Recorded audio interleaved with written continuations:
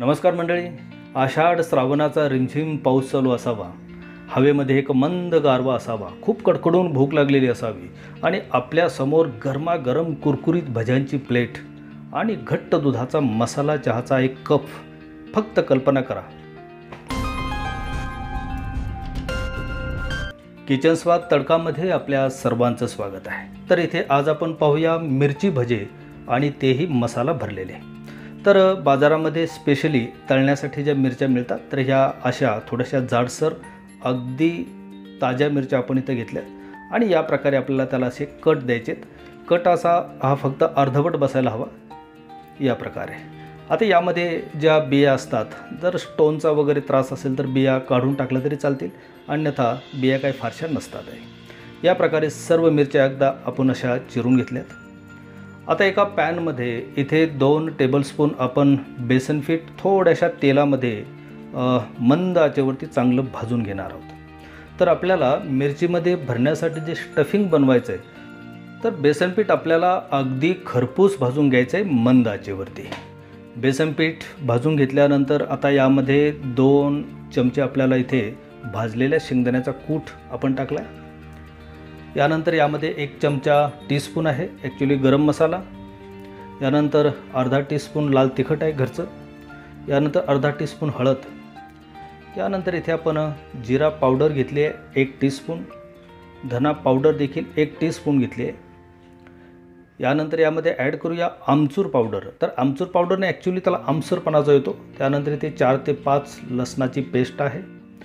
आणि चवीपुरतं थोडंसं मीठ. आणि हे मिश्रण आपल्याला हाताने असं चांगलं मिक्स करून घ्यायचं आहे ॲक्च्युली मिरचीमध्ये भरण्यासाठी जे स्टफिंग आहे तर हे बेसनामध्ये आपण ऑलरेडी तेल टाकलेलं असल्यामुळं त्याला या प्रकारे पा कन्सिस्टन्सी आली बाइंडिंग आलेली आहे. आणि एवढी बाइंडिंग पुरेसे आहे. पाणी अजिबात आपल्याला यामध्ये टाकायचं नाही आहे. आणि मिरचीमध्ये या प्रकारे आता आपण बनवलेला हा जो स्टफिंगचा मसाला आहे तर तो या प्रकारे थोडासा भरून घ्यायचा आहे. याप्रमाणे आपण सर्व मिरच्यांमध्ये हे स्टफिंगचं मिश्रण भरून घेतलं आहे एकदा. आता इथे आपण एक कप बेसन पीठ घेतलं आहे यामध्ये चवीपुरतं मीठ अगदी थोडासा खाता सोडा अगदी चिमूटभर.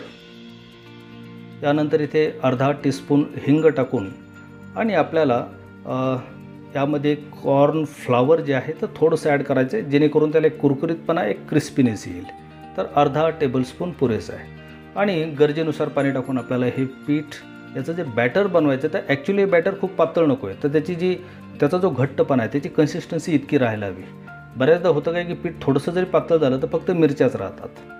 तर या प्रकारे आपण इथे पीठ चांगलं मळून घेतलं आहे आणि आता भरपूर तेलामध्ये आपल्याला या मिरच्या एक एक करून याप्रमाणे पिठामध्ये बुडवून सोडवून घ्यायच्यात तर स्टफिंग इथे बाहेर बिलकुल येणार नाही कारण आपण ॲक्च्युली ते भरताना थोडंसं कमी भरलं होतं. किंवा जर असं वाटलं आपल्याला की स्टफिंग जास्त भरलं गेले तर थोड्या पाच दहा मिनिट जर फ्रीजमध्ये आपण मिरच्या ठेवल्या तर ते स्टफिंग तसंही घट्ट होतं बाहेर येत नाही. आणि मग एक एक एक एक करून या प्रकारे मिरच्या आपल्याला ह्या सगळ्या तळून घ्यायच्यात.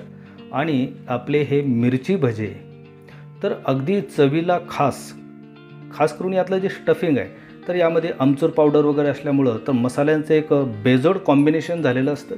तर त्याची टेस्ट आणि प्लस भज्यांची टेस्ट दोन्हींचीही टेस्ट इथे अगदी लाजवाब असते. तर मंडळी अशी स्वादिष्ट मिरची पकोडी तुम्ही देखील घरी बनवा एन्जॉय करा.